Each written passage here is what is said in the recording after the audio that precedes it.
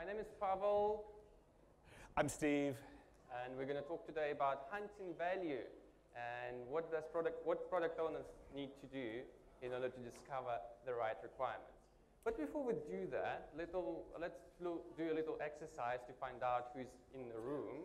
Um, it's a quick pop-up. We're going to name some roles. If you are fulfilling that role, just stand up. We're gonna well, we're gonna let's play like a game of popcorn. Yeah. So so pop up like popcorn. So we call if you're in the role, pop up, and then sit back down. And you might pop up more than once because people are in more than one role, right? You might have multiple roles, but let's try it out. Product owners in the room. Business analysts. You gotta we gotta see you. Gotta pop up enough for us to see you. Requirements engineers. Scrum masters and coaches. Developers, Testers. UX people, Salespeople. company owners, Yay. customers. All right. So right, I think we gives us- figured who's in the room. Yeah, that gives us a um, good idea. Yeah. So what we, what we want to do, the most of this session is going to be called uh, the Discovery Dojo. And yeah, we just want to let you know that this is not going to be a session, hopefully this is not going to be a session where we stand up and talk to you a lot. Both of us love to talk, so if it turns into a session where we're talking to you a lot, give us a signal because we don't want to stand here and talk to you a lot. We want to create an environment where you will work with each other to find the answers. So if you're if you're expecting a session where we give you a lot of information and that you write it down and walk away, that's not what this type of session is. Just to let you know in advance. So if that's the kind of session you're expecting, you might want to look for a different session. If when you remain here, we're going to be doing a dojo, which means um, we're going to have some exercises where you're working together to practice this information. And um, Yeah. So the dojo sounds like your passion, uh, Steve. What, uh, what, do you, what other passions do you have? yeah, gee, I, I'm passionate about a lot of things. I'm passionate about Lego Serious Play. I'm passionate about working with people. I'm passionate about working with Scrum Masters. But another thing I realized is that in my career uh, in Agile, I started as a Scrum Master. Now I'm an independent Agile coach, and I go around the world training and coaching. Um, and I, in addition to working with Scrum Masters and teams, what I realized is that in a lot of the work we do in Agile, we start talking about the team and the Scrum Master, and we say, and there's a product owner, and the product owner does all this stuff, and that's about it. So I'm, I've become really passionate in working with the product owners and the people that work with the product owners to, to build up our knowledge there. So we've got great knowledge about Scrum Masters, great knowledge about teams, and I want to make sure we have great knowledge about product ownership. And I'm passionate about other things, which you'll probably hear about throughout the session. I just can't keep it in. So, but Pavel, tell, tell me what you're passionate about. I'm passionate about helping organizations to build innovative products by helping with out of box thinking. But I'm also passionate about my cat and the country I live in, South Africa. Great. Um, so, we've Yeah. started introducing ourselves. I guess we can continue. Um, I'm Steve Holyer. I'm based in Zurich, Switzerland. I'm not from Zurich, Switzerland. I'm originally from the US, but I've lived in Zurich for 16 years. So uh, we can also say I'm from Zurich. Like I said, I love to travel around the world. Uh, if you're interested in contacting me, you see my website and my Twitter handle. The same with me. Um, I'm from South Africa, Johannesburg, and there's a couple of contact details for me. And if you'd like to share your thoughts on Twitter, we, we came up with a special uh, uh, handle. It's uh, hashtag Discovery Dojo. And we love when people tweet about us. So if you, you know, if you want to help us out, Steve, I've been wondering this for days. yes. Explain your Twitter handle. It's kind of an.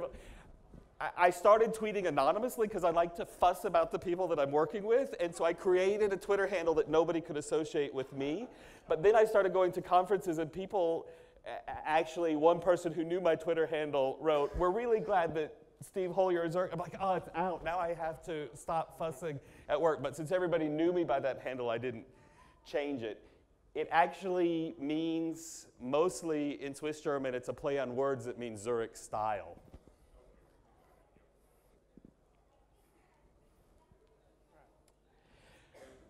Most of the session is based on the book Discover to Deliver, which was written by Ellen Gottesdiener and Mary Gorman. This is a fabulous book. We have it here.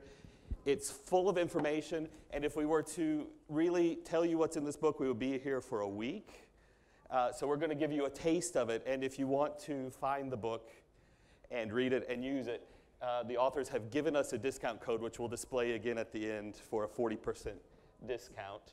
And they wrote the book on the material we're covering. I turned it into a dojo. I thought, this is something we need to have in a dojo. And then I talked to Ellen, the author, and she thought that was such a great idea that Ellen and I uh, have run the dojo in Sweden, and we're going to run it again, we hope, in Florida. And in the meantime, Pavel has joined us. It's been a lot of fun. Yeah, we, we ran one in South Africa in, in October. Yeah. All right, so um, what, what are we doing today? So we're talking about a value hunt, and the people that help us hunt value. And to begin that hunt, we need to first hunt some product owners in the room. And we take a kind of a broad view of product ownership. There's this role called product owner, but we believe more than more people do product owners ownership than just the person who's called the product owner. So even if your title's not product owner, you can still join us as a brave PO. So we're hunting a few brave POs, and I'd like you to, if you will join us and be a brave PO, I'd like to ask you to stand up. Now, I'm to, before you stand up, I'll tell you a little bit about what you're going to do. Um, in the dojo, you're going to bring a product need to, to your dojo group, and your group is going to discuss your product need. So if you, if you are a brave PO, that means a couple things. You need to have a real product need that you can bring to the group. Uh, it needs to be a real product need because we're talking about passion. You can, you can use an example, something you read in a book, but the passion's not there, and we really want the passion. That's why we're asking for a real product need. It has to be a real need you can share. I know a lot of people work on products that aren't, the information is not publicly available, so we're not asking you to share confidential information. It needs to be information you can share.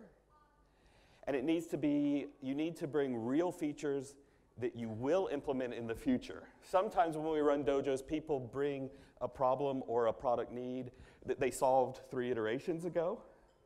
And again, the passion's missing because they're just replaying something that's already happened. So we're looking for a real product that you can share and features that will be implemented or could be implemented in the future. So who do we have? Who's willing to volunteer to be our brave product owners? So we got one, two, three, four, five. So if you can stand up to help everybody see, if you can stand up. We also have a backup plan if, in case we don't have enough product owners. So I'm not sure, I'm not through selling the, selling the, we, we are right, we yeah. do have. Well, to let you know, I, you're cutting into my sales that, effort yeah. here.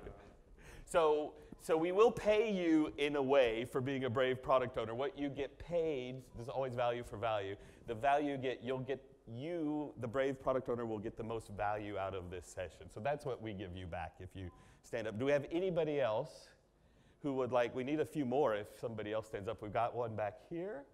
Keep standing. Right. That's great. Thank you very much. We also have the case study, um, which we're going to get to, uh, for if we, if we need a case study as well. So remember that you guys, we didn't take names, so you guys remember. All right, well, actually, if you brave POs can stay standing, what we need to do for the dojo, we're going to form groups of three to five. There needs to be at least three people in a group, and we'd like to you to five. If you go to six, nobody's going to complain, but there has to be at least three, and you need a brave PO in your group. So the brave POs, now if you hold up your hand so people can join you in a group, and uh, yeah, you're also not allowed to have more than one brave PO in the group, right? So That's right. Otherwise, no, the group is too brave. Yes. So maybe self-organized. Um, uh, there are tables, but there are also groups of chairs which we put around. So if you can have five people or four people around you in some manner, So move around, give it a couple of seconds to organize.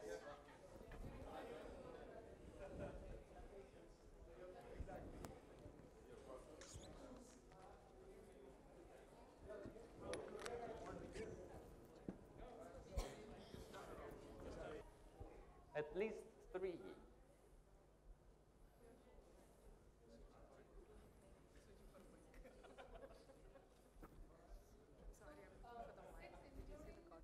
Yeah. I did not. I But six is all right.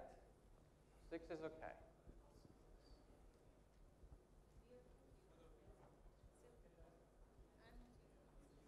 He doesn't have a product owner yet. So we have a product owner here looking for a group. Does anyone not have a product owner? I am saying I have no group. I'm just walking in. Okay, there's. Right here. There's a table here. Maybe we can form a table. Uh, any, any volunteers to, to join this group? They need a little bit of help. Come on. One or two people. Come on. One. Oh, you, you want to have two? we'll talk about it. Um, anyone wants to join this group? Yeah, here you go. You're, you're at four, so I'll go over here. Yeah, awesome.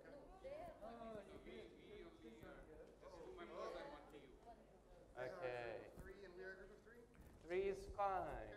Awesome. So Okay. are there any groups with, without a PO? I think we have, every group has a PO. including the product owner. All right. Is everyone sorted? No problems. Cool. Is, it, is, am I seeing this correctly? Every group has a PO? Every group has a product owner. So we don't need the case study. We don't need a case study. Yeah. Oh Does man, anyone- this is does, awesome. Does anyone not have a product owner? Oh man, the, the Germans are always too shy to, to volunteer. We always have to use the case study, but Yeah. awesome. Great. Cool. All right.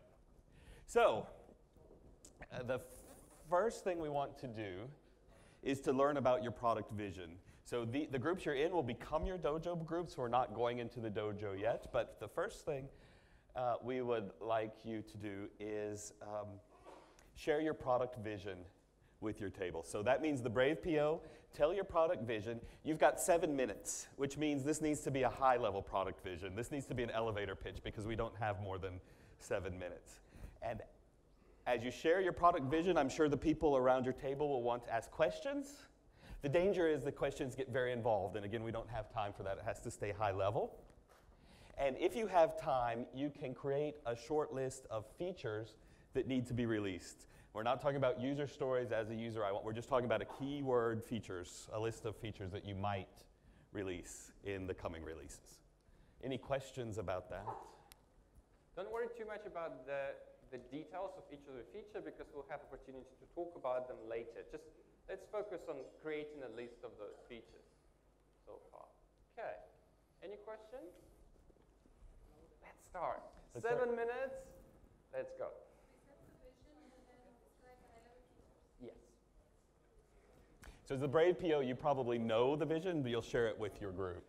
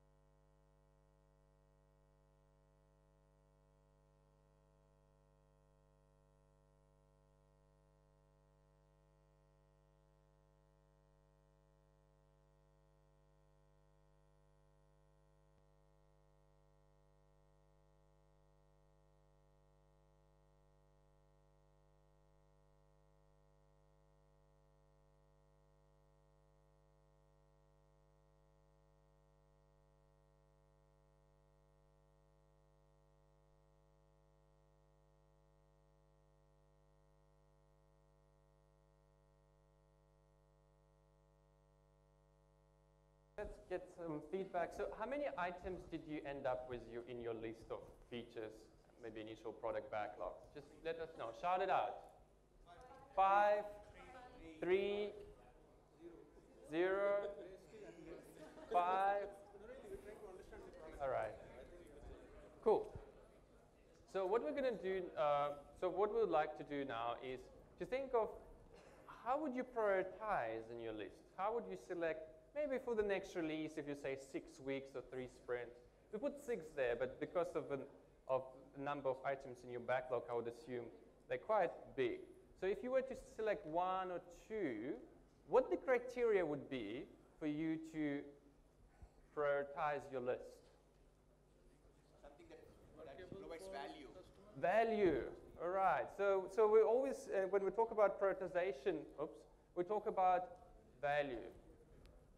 Interesting. But what does it mean? What does value mean? Somebody tell us what value means. What, what's value? Value is, a, is if you are, if you are uh, having a goal in mind, that kind of service that you're trying to provide, that person actually gets and he can actually utilize it for his benefit. Something can be used by customer. Okay. Return on investment or making money, right? So Yes. revenue generation, customer. Um, wh- what if you work for a compliance project? somebody back here. Sorry. Yeah. Saving time or saving money. So that my question was, what if you work for a compliance project and you're not making any money? How would you define value? Yes.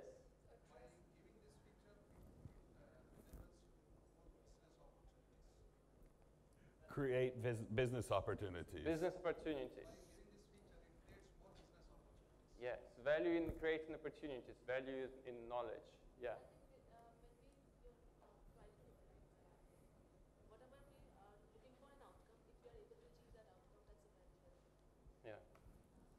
Like compliance project, I work in banking, so I can tell you, we do Yeah. lots of compliance Yeah. projects. And the reason why you do it is to stay in business. Yeah, exactly. Stay in it's a, business. It's a simple uh, money-saving project, right? The highest priority items in your compliance project is to get your executives out of jail, right? So, um, the second one is to keep your license as a bank, right? And so, so you can still prioritize, you can still find the value.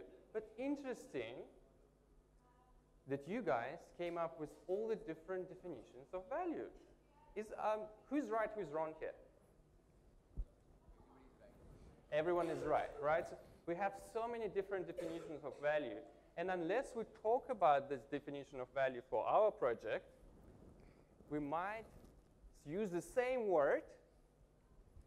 This is valuable to me, or this, is, this should be valuable. But you might imply a different thing. So one of the, one of the uh, responsibilities of product owner is to actually define that value collaborative with, uh, co- collaboratively with, uh, with other stakeholders.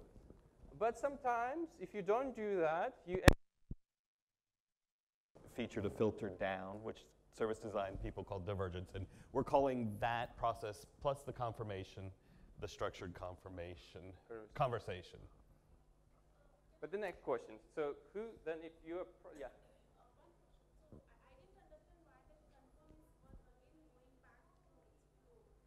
Because once you release something, if you can just yeah. So once you release something and you release it to the market, right? So you start collecting feedback, and that you might end up in unlikely but really likely situation that that's not what customer wanted. So you need to go back to your exploration, right? So that's not customer wanted what he really or what she really wanted. So that's, it's not once-off process. You can't just oh we explored for the next five years. That's good enough, right? So it's it's a continuous process of exploring and narrowing it down. In our pre agile way of thinking, Yeah. we had a long exploration phase where a bunch of people sat in the project management or the business analyst office and explored and created this big list. Then some smart people said, okay, we'll circle the items that get done.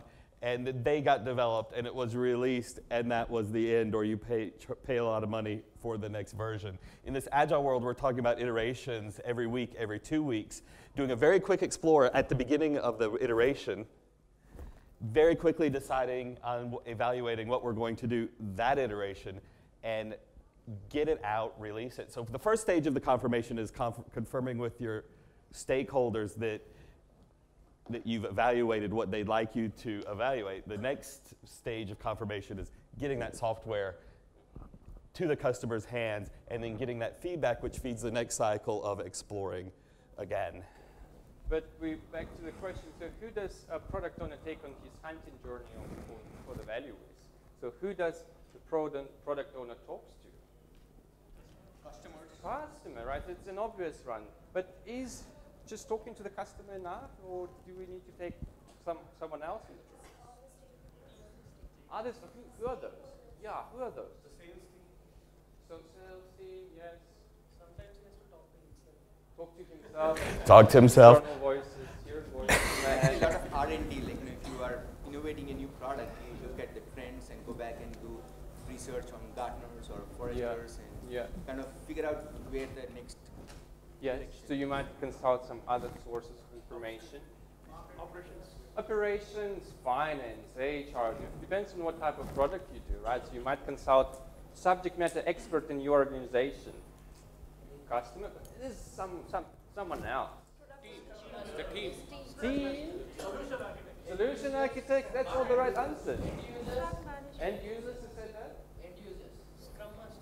Scrum Masters. So, so if we look at that, maybe if we go to this next slide, we actually have three different groups of stakeholders, but Steve will correct me now. I won't correct you, but Yeah, so maybe. I, I um, yeah, I wanted to talk. I do what I do want to do is talk about the product, the product partners. Um, so we've been talking about this one person called the product owner, who sometimes you're lucky enough to have Stalin as a product owner, and we're saying that's actually nobody wants to have Stalin as a product owner because this hunt for value takes place in a partnership. And instead of assigning the product owner to hunt the value, we are forming a, par- a partnership of product partners. And all the product partners want to get value out of the product. And the list of product partners is huge, but we're claiming that you can have three categories of product partners.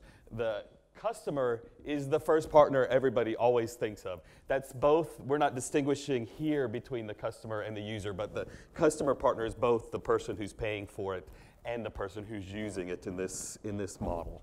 So the customers are partners, but they're not your only partners. You have a whole class of partners, and they're the next partners that everybody thinks of, and those are the business partners. So they are your, your shareholders, they are the people who run your company, they're probably your boss, they might be um, uh, the finance office. These are the people in your business, and when we talk about stakeholders, we usually name those the customer stakeholders and the business stakeholders. They probably come to your sprint review meetings if you're doing Scrum. There's a whole third class of partners, which you guys have mentioned, but it, we often forget about the third class of partners, and that's the technology partners. So the technology partners are all the people involved in the technology of building the product, and that's the dev team. The dev team are partners in the product. So when we're talking about this conversation, the, looking for value, the dev team is there. And not just the dev team. If you're working in a large organization, the director of IT, the IT department, uh, the IT standards, the architecture board, they're, your, they're partners with you in the product, as well as the, the standards organizations, the hardware folks, they're, in your, technol- they're your technology partners. And another group of, uh, another example of technology partners is another team integrating with you. They're a technology partner because you need to consider their interests because they're one of those stakeholders you need, you need to also address their, uh, their um, uh, needs when you build the product. Yes, so we have a quick exercise, right? Yeah. So y- you need to find uh, somewhere, maybe on the chair next to you or something, the, the orange, uh, orange. No, not orange, No? green. The green, the green handout. The green handout is two copies of the same sheet. Um, so we're going to do a quick uh, two-minute exercise. Mm-hmm. So for, or Yeah, you go. Okay.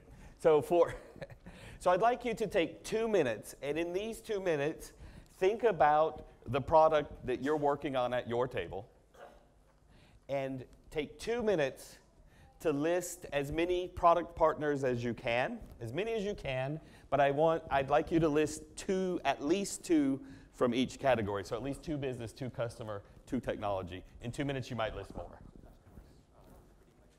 Okay? If you know the name of the person, yes.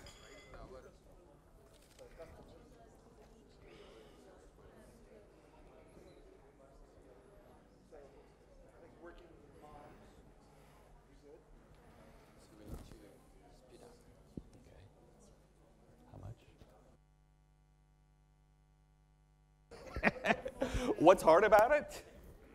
You start wandering around as to who your customers are. It is hard. It is hard. Yeah, so I think it's hard. It's hard in real life too, uh, right? Um, But we're forming a company over here. We really like the, like the product that we come up with. so- I was hoping that was going to happen. So, so that was a, that was a little bit more than a minute, or a minute, little bit more than two minutes. Have, have you got six? Has everybody got six partners written down? So for the next two minutes, for the next two minutes, what I'd like you to do is think about these six par- uh, pick six partners and write down what motivates those partners. So, so your compliance officer is motivated by keeping the company out of an audit, perhaps. Um, keeping the company out of jail. Your I, technology partners motivated by having a clean architecture. Uh, try and find a motivation for at least one motivation for each partner in the next two minutes.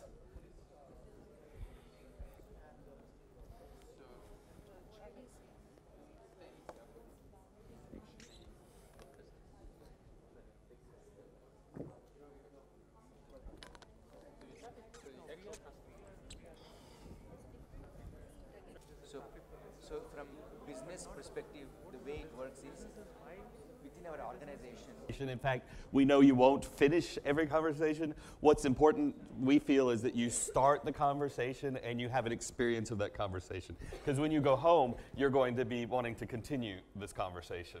So don't be worried if you're not finishing the conversation. But uh, let's see fingers. How many, um, how many motivations did you come up with? Did you come up with six, four, four? I see some fours. Three, five. Okay, one. Okay, I think I think that's that's good. Uh, the, the the team that has one might may be thinking of some more on the fly, maybe. Uh, so we want to come now. We really want to start the dojo. Yeah. So, uh, do- I don't really understand so much about the martial arts where the term dojo comes from. I have been told that the dojo means in Japanese the place of the way, and a lot of things happen in the dojo. Uh, it's a spiritual place. It's also the place where people go to train, and so especially in America, when uh, when people are learning the martial arts, they go to the dojo to practice their martial arts with other people to master their skills. Someone who knows more about dojos than me, is that a fair enough description that we can? There's usually someone who says you got it all wrong, so I'm, I'm open to that. Okay. Okay. All right. So what we want to do is go into the, the dojo. This dojo, Rich, you may have seen this in Berlin. This, this dojo is based on a series of coaching dojos that I've done. And these dojos were based on the work of Rachel Davies, just to let you know that. And of course, Rachel Davies based it on Dave Thomas's work, who created some coding dojos. What we want to do in this Discovery Dojo is to find a product executive, you might even call that a product partner, who has a product need, and somebody needs to take the role of a product facilitator. Yeah, And- so it's some sort of, the product facilitator would be a helper to help the product executive to, to discover the right value, to apply that value filter we talked earlier.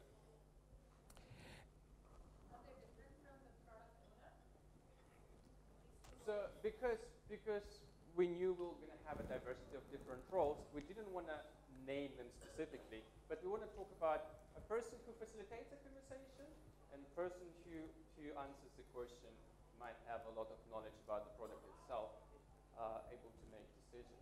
Right, so that might be, there might be different scenarios, like there might be a product owner and a scrum master, or might, be a product owner on this side as a facilitator, and your product executive is some sort of senior stakeholder. Okay. Eh. Project sponsor, for example. But we didn't want to frame it very specifically. So think of facilitator and, and some sort of a product manager or product person. In real life, the roles sometimes change. In real life, the Scrum Master might facilitate this conversation with the product owner. Other times, the product owner might facilitate this conversation with the stakeholder, as you said. Uh, many times, you may be in a situation where you, in, in a dev team, need to be using your skills to facilitate this conversation with the product owners if that's not taking place. So various people can take this facilitation role. Often, that's very much the job of the product owner, but not always. It needs to happen so many different people can take the facilitation role. Right. Traditional concept standpoint, they are sponsors. So you can call them, but we don't want to frame because it might not apply to your particular environment. But do you, everyone understands the two roles? Great. Um, Okay, so I've probably gone down the rabbit hole. So I'm coming back out. And so in this dojo, you need to have three roles. The product executive is the person who has the product need. So for you, it's your brave PO.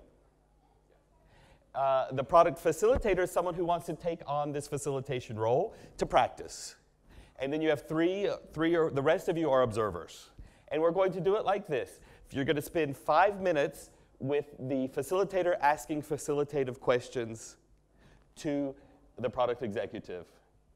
Two minutes will be a chance for the product executive to give feedback of what it was like.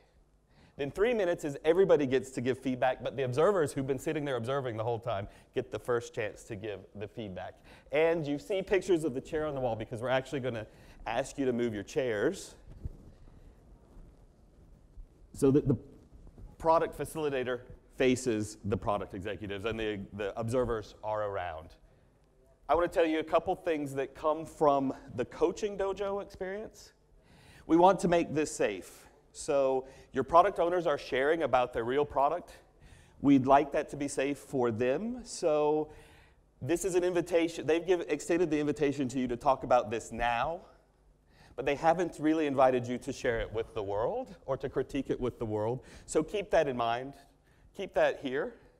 And we also, we also ask in a coaching dojo, and this dojo to, to your role is, if you're a facilitator, your role is not to fix their product. Your role is to ask them questions to help them understand their product, but you're not trying to fix it. And finally, you hear something that you would like to talk about later. If that's the case, you approach someone later, they may or may not want to keep talking about it. So do ask them, is it okay to talk about it? And do you have time now to talk about it? That's, that's what I request. And to help you out a little bit, um, we also want you to, to ask powerful questions. Powerful questions are those you get, uh, uh, where you get the powerful answers So don't try to answer question a yes, or yes or no questions because there's only two options, yes or no, right? So try to ask questions why, those are most powerful, or what. The how question, question is also powerful, but for the sake of this exercise, you might go down to too much technical detail. So leave that out as well. So focus on why and what. So shall we try it out? Yeah, so, so uh, uh, again, what uh, the idea here is we're going to spend the next 10 minutes evaluating. So, given your general idea about what's in the product, pick, pick about six items, three to six, Maybe- one's maybe- even okay to implement in the next release. And for our sake, we're going to say a release is about six weeks, three sprints. And this point, use what motivates your product partners as your value filter.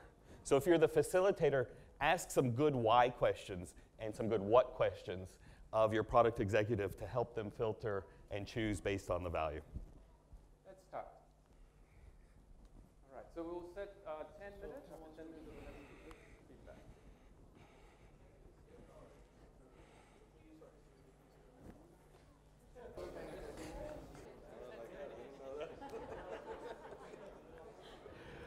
Okay, so that was the five minutes.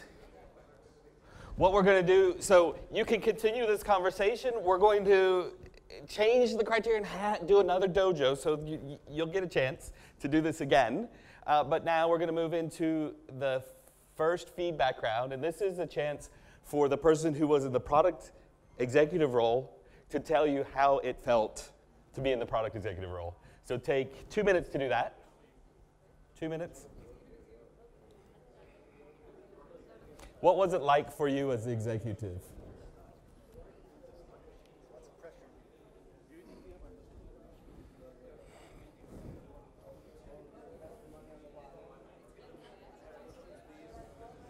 The next phase, and this is when everybody gets to tell what they noticed. What did you observe? And start with the people who were officially observing, but everybody gets a chance to tell what you observed. What did you observe?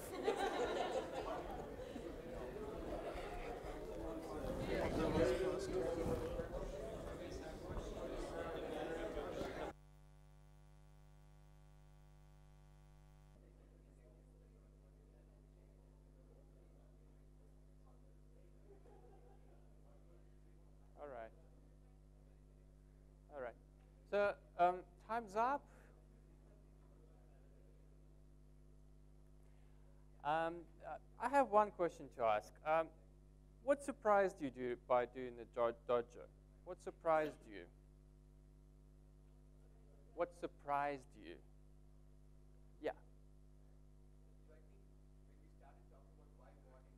Yes. Yes.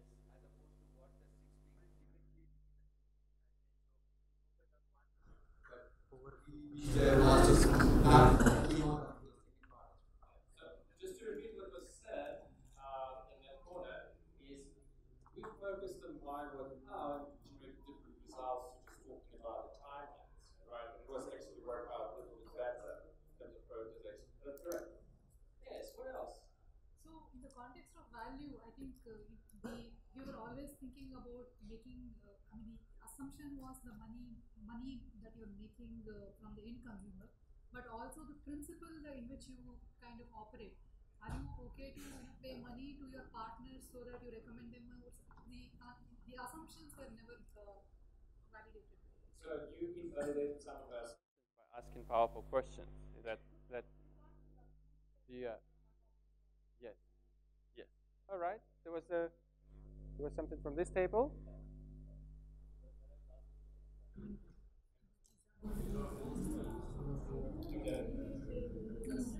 By asking questions, you figure out ultimately.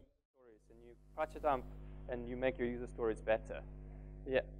Anything else? Yes.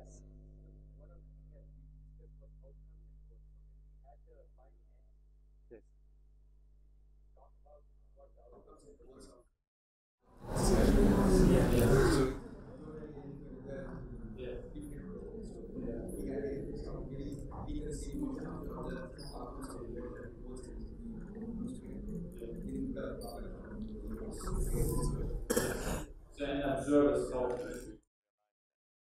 All right. Yes.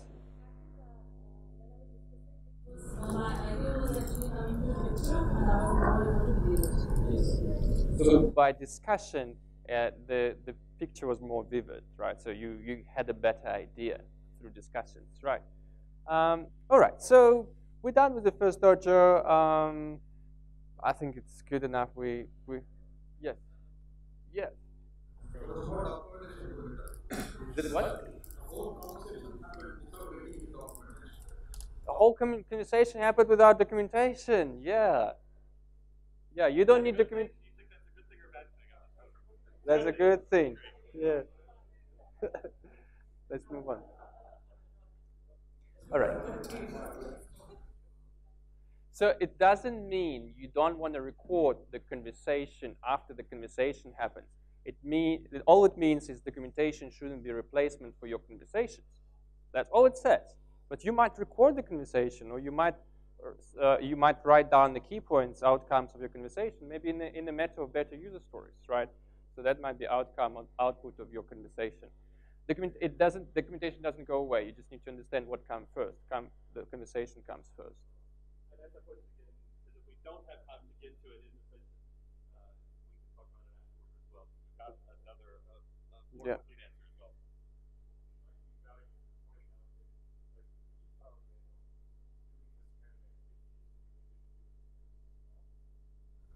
because you'll have one person having the conversation with the person while the other one could be making notes so that the note taking activity isn't interfering with the conversation.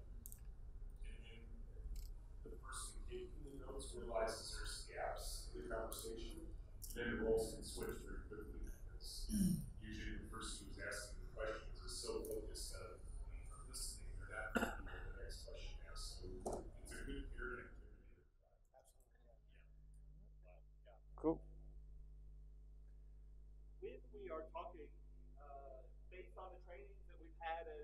Scrum and product ownership, we tend to think, we tend to create our definitions in our backlog in the terms of user stories. And I think everybody probably knows the thing, the user story format. As a user, I want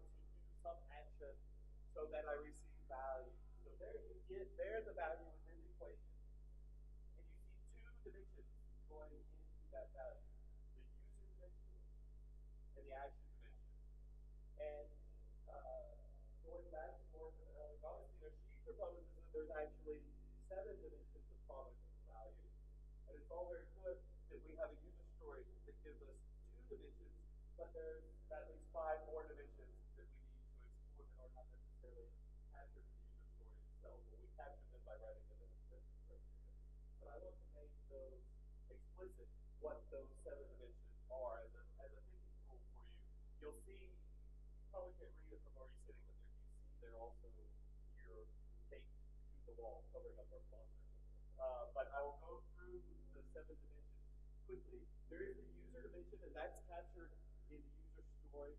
That's who, uh, who the product interacts with the product. That's your user. Sometimes if you're inter an interface, that might be another system. Um, if you're a subsystem or a backend system, another system might be your user. Uh, the next step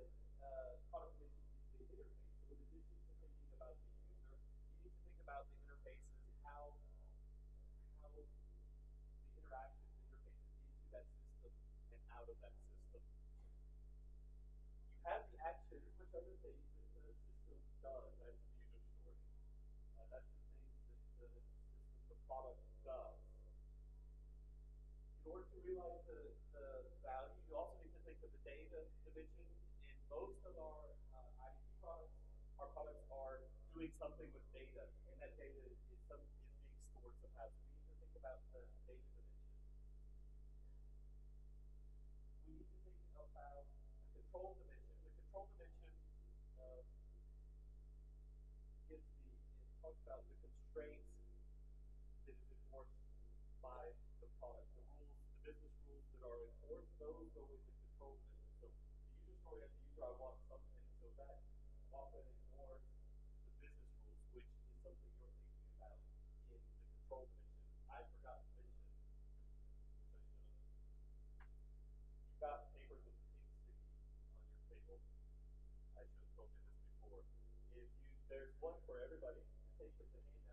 Yeah. And but if you don't have enough, you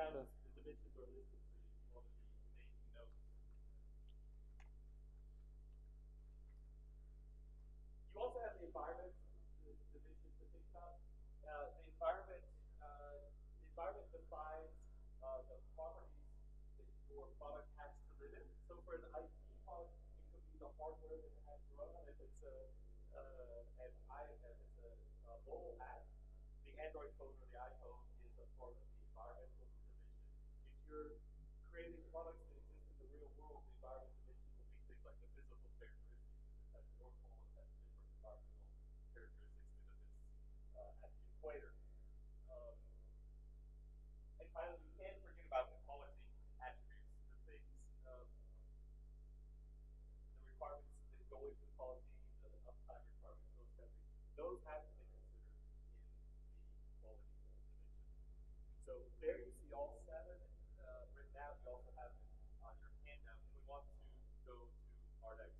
Yeah, so let's run another round of Dojo.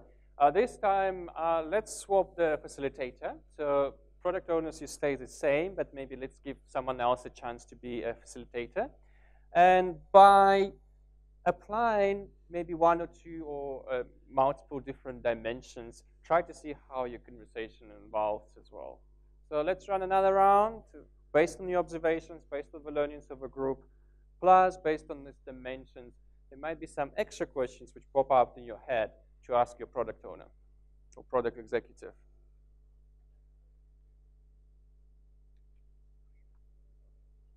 Yes, the question was to create the user story, yes, but we're not going to user stories.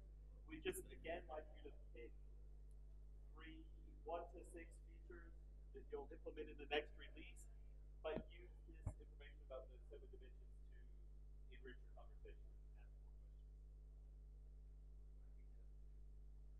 questions. You wanna, you wanna set up?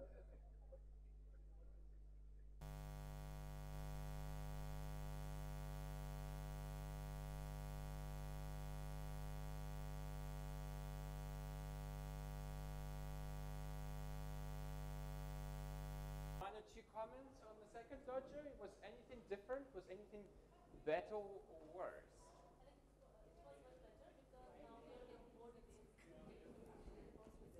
Yeah.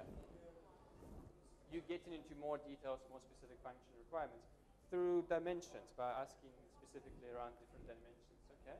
Um, another comment? More structure. Yeah. Yeah. So those dimensions give you a little bit more structure when you have those conversations.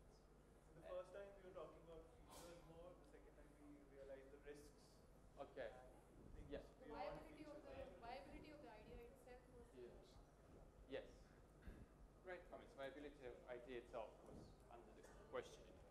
Um, all right. So let's wrap up. Right. So we have four minutes left.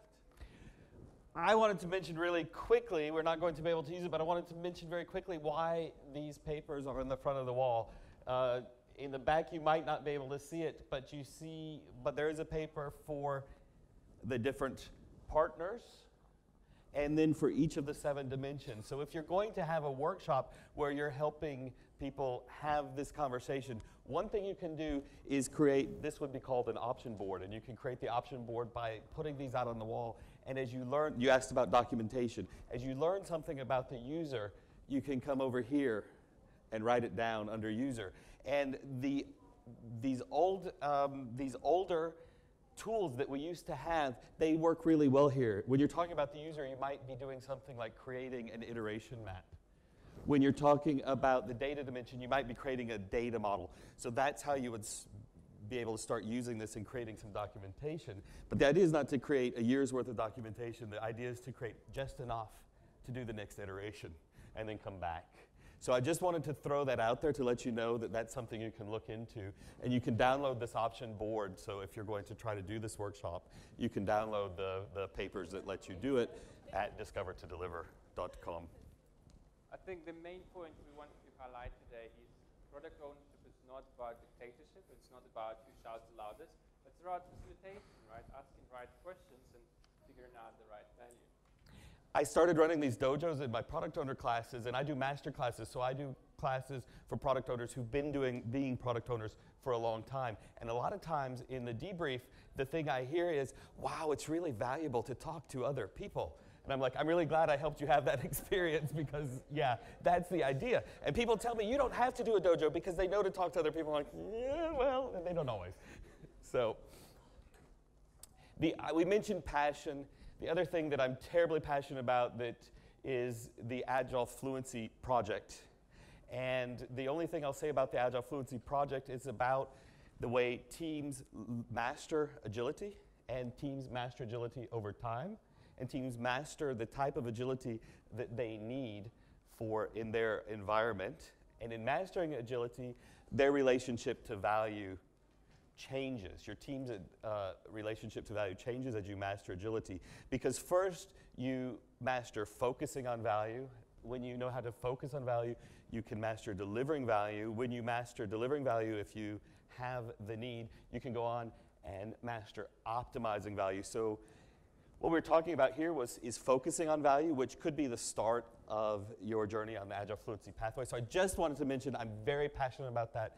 You can check out the Agile Fluency Project, which is a nonprofit uh, group that I'm a part of to learn more about Agile Fluency. And I am writing a book on Agile Fluency because I'm so passionate about it. Right now, you have to judge it by the cover because that's all that's there right now.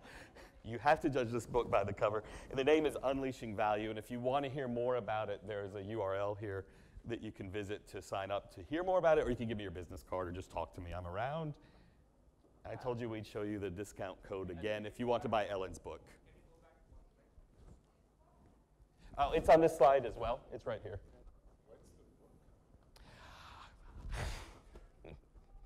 He said May. So the, the first iteration should be out by May. The MVP iteration should be out by May. All right. Uh, I think it's time, time is up. Uh, we really had a good time. We had a lot of fun with you guys. Um, well, enjoy the conference. I'm speaking again tomorrow, I think, but I'm speaking about agile economics. Um, so if you're interested about that. I can't wait to hear that talk. I really can't. Um, so thank you very much for coming. Enjoy the rest of the conference and goodbye. Thank you guys. Sorry, a quick announcement. Uh, somebody lost their bag. So can you guys just look under the table if you guys see a green backpack? Just real quick. Thank you so much.